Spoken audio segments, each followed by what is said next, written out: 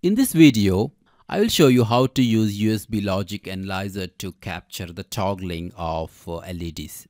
USB Logic Analyzer is a great tool to have which can be used to debug your code uh, which consists of uh, serial protocols, uh, timing related functionalities, um, interrupts, uh, GPIOs, etc. The one which I am using is from the manufacturer called Saleae Logic. It has both hardware and software components. The software for the PC can be downloaded from this link. And the hardware appears like this.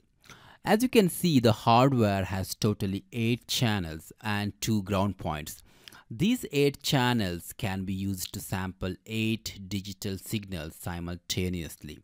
What you have to do is very simple.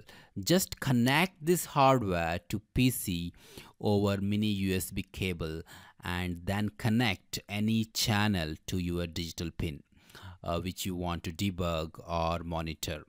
Here you can see I have connected the channel 1 to my LED pin which I am toggling and I also connected ground point. After that uh, launch the software.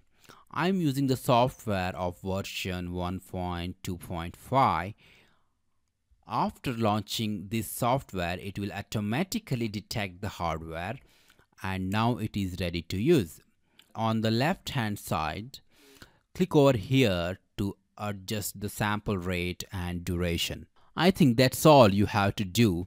Uh, now it is ready to run. Just click on start. Now uh, the analyzer is running and you can see now in the timeline uh, it has collected the samples of LED toggling activity.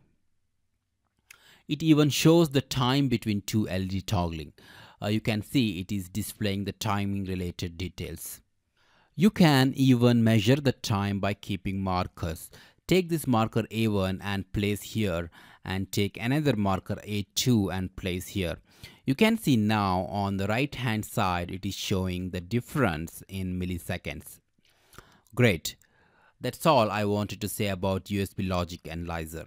Uh, it's indeed a great tool to have uh, which uh, indeed saves lots of debugging time of your embedded software development.